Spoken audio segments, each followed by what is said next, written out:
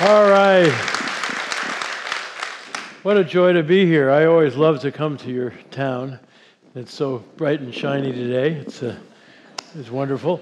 Now, uh, you probably, when he said two 75 minute sessions, you know, like I'm going to lecture to you at all, we're going to have some fun. We're going to high participation. So, just so we get going, why don't you all stand up? I got a couple of things you got you to do. Um, First thing I want you to do, and when I'm finished with one thing, I'll put my hand up, and if you see my hand up, put your hand up, and then everybody be quiet. First thing I want you to do is wander around for about 30 seconds and greet as many people as possible, but greet them in a very special way. Greet them as if they're unimportant and you're looking for somebody much more important to talk to. So if you could greet each other as if you're unimportant.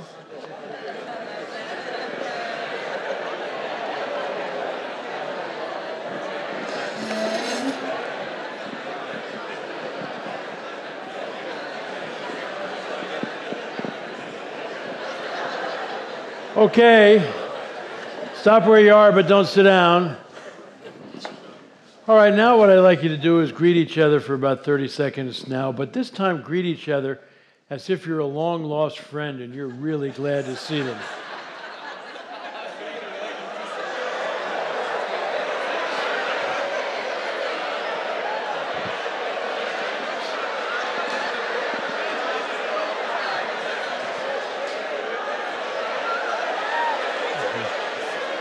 Okay. You can sit down. You can sit down. All right.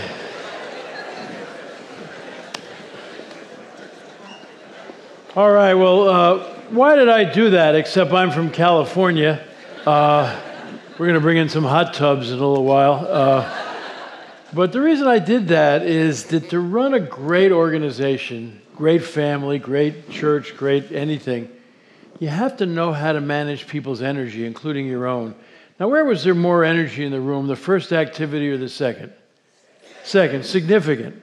Now, what did I do to change the energy in the whole room? All I changed was what you were thinking about. From a negative thought, these are unimportant people, to you know, these are long lost friends. And the whole energy in the room changed. It's so interesting that not only did the energy change, but I didn't tell you how to behave when I put in your head those two thoughts. You automatically did. It's so interesting, you know, it says in the Bible, as a person thinketh, they become. And what happened when I said these are unimportant people? very little eye contact, very little touching, you know. You looked around, looked like you were dealing with a lot of unimportant people. Then I said, These are long lost friends. What happens? Your faces lit up, you started to laugh, you started to hug each other, and all. Everybody's behavior changed. It's really kind of powerful. Uh, how many of you know that the computer and the mind have a lot in common? Have you ever thought about that? Both your computer and your mind don't know the difference between the truth and what you tell it. You put information in a computer, it doesn't say, Where'd you get these facts? These facts are wrong. What does the computer do? It does whatever it can with what? The information you've given it. What have we said about the computer for years? Garbage in, what? Garbage out. Do you know it's the same way with your mind? If you woke up this morning and looked in the mirror and said, You are fabulous, your mind's not going to say, Who are you kidding? you know, I know you're a lot better than this.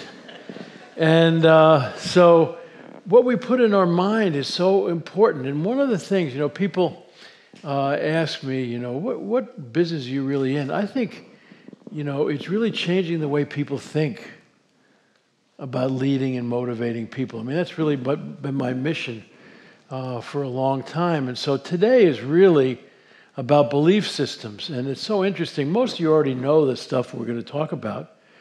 Uh, I remember when the one minute manager came out, so many people came up and said, I could have written that, you know? and, uh, you know, because uh, it's not that all that complicated, uh, but it's, it's all about, about beliefs. You know, what, what do you believe about people? And so that's what one of the things that we're going to really do uh, today is just kind of take on some beliefs you have. Because unfortunately, there's a lot of stinking thinking about leadership. I mean, how many of you know that the major problem in the world today is leadership? I mean, have we seen what self serving leaders have done? in every sector of society and in countries and all that kind of thing as we look around the, the world. It's just incredible, you know. And uh, so, what I want to do today is, you know, because it's been 30 years since the One Minute Manager came out, is to put that into a different context uh, of what I've been thinking over the years and try to show you how it all fits in. Because one of the things I've come to the conclusion is, is that the most effective way to lead people is to be servant leaders.